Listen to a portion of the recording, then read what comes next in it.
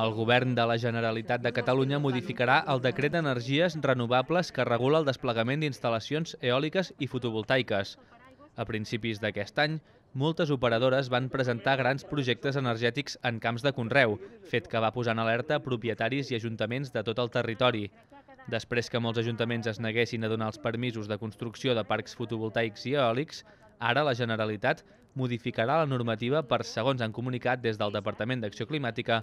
assegurar la participació del territori per impedir els projectes sense l'acord entre propietaris i ajuntaments, per una distribució més equitativa entre el territori i evitar la concentració d'explotacions energètiques i també per impedir que la transició energètica comporti l'eliminació massiva de camps de conreu.